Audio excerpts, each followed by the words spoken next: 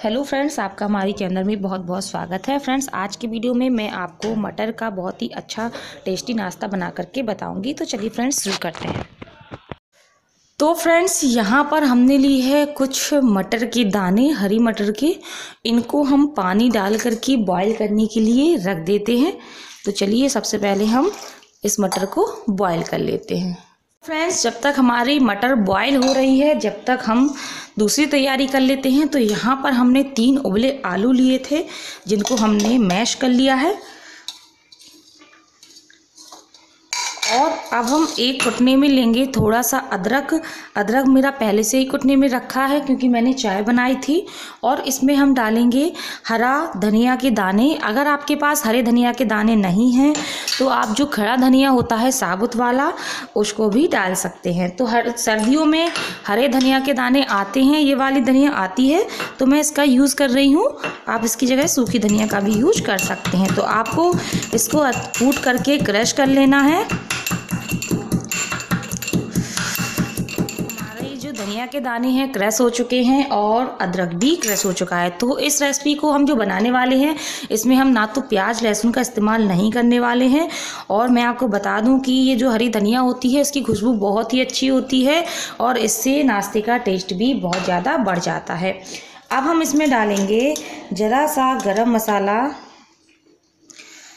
थोड़ी सी हम डालेंगे पिसी हुई लाल मिर्च और हम थोड़े से डालेंगे इसमें जीरे, खड़े जीरे डालने हैं आपको। और यहाँ पर हम डालने वाले हैं इसमें करीब आधा चम्मच अमचूर पाउडर, ताकि हमारा जो नाश्ता बनने वाला है उसमें अच्छे से खटाई आ सके। तो अमचूर पाउडर डाल देंगे हम। और हम इसमें थोड़ी सी जो कटी धनिया है हरी, उसको भी हम ऐड कर देंगे। आप चाहें तो इसमें हरी मिर्च डाल सकती हैं, लेकिन मैं नहीं डाल रही हूँ, क्योंकि मैं बहुत ज़्यादा तीखा नहीं बना रही हूँ।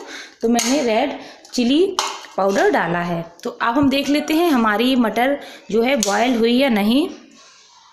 तो फ्रेंड्स देखिए, मेरी जो मटर थी, हमने वो बॉईल करने के लिए रखी थी बॉयल हो चुकी है और मैंने इसको ठंडे पानी से थोड़ा धो दिया था ताकि हल्की ठंडी हो जाए। तो आप देख सकते हैं, काफ़ी अच्छी मटर हमारी बॉयल हो चुकी है। चूँकि यहाँ पर हम मटर का नाश्ता बनाने वाले हैं, इसलिए आपको मटर थोड़ी ज़्यादा मात्रा में लेनी है। आप चाहें तो और ज़्यादा ले सकते हैं। तो अब हम इसको हाथों की मदद से अच्छे से मसल लेंगे। आप मैशर की मदद से भी इसको मैश कर सकते हैं लेकिन आपको याद रखना है कि आपको एकदम इसको बारीक पीसना नहीं है। अगर पीसना होता तो हम आ, मिक्सी में भी इसको पीस सकते थे लेकिन नहीं हमको केवल मैश करना है। फ्रेंड्स हमारी जो मटर है मैश हो गई है क्योंकि ये उबली मटर थी इसलिए आसानी से मैश हो गई है। तो अब हमने जो आलू का पेस्ट बना करके रखा था इसमें हम मटर भी डाल देंगे।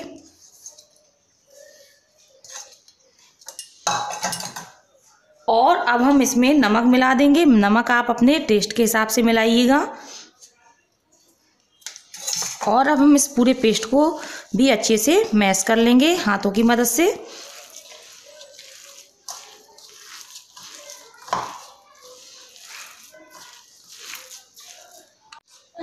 तो फ्रेंड्स आप देख सकते हैं कि हमारा अच्छा इसका पेस्ट बन गया है। आलू को और मटर का पेस्ट बन करके रेडी हो गया है। अब आपको क्या करना है कि एक प्लेट में सूजी लेनी है। बिल्कुल ये इस तरह से आपको सूजी लेनी है। ये नॉर्मल सूजी है बुनी हुनी नहीं है। अब आपको इसका थोड़ी सा पेस्ट लेना है। आलू मटर का इस तरह से आपको पेस्ट और इसकी आपको बॉल्स जैसी बनानी है। इस तरह से आपको बॉल्स की शेप में इसको लाना है। और ये देखिए, हमारी बिल्कुल बॉल के शेप में आ गई है। अब इसको आपको हल्का सा चपटा कर देना है। देखिए फ्रेंड्स, आप इस तरह से इसको चपटा कर दें, यानी कि पेड़े के आकार में ला दें और इसको आपको सूजी में अच्छे से लपेट देना है।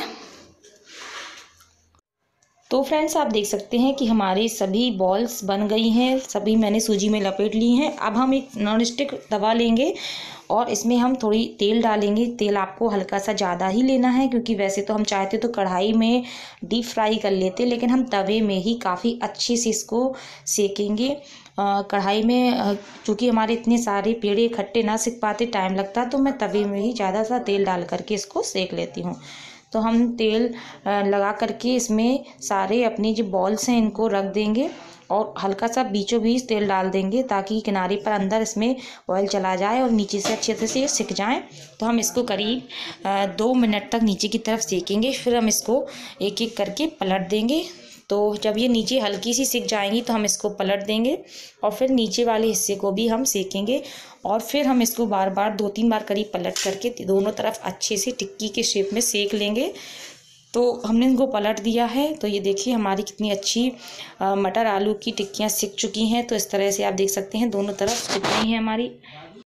अब हम इनको एक प्लेट में निकाल लेते हैं और इसकी प्लेटिंग कर लेते हैं। तो देखिए फ्रेंड्स हमारी मटर की गर्मा गर्म टिक्कियाँ बन करके रेडी हो गई हैं। आप इन्हें चाय के साथ, चटनी सॉस के साथ सर्व कर सकते हैं। तो ये देखने में बहुत ही ज़्यादा अच्छी लगती हैं और खाने में तो बहुत ही ज़्यादा टेस्टी लगती है।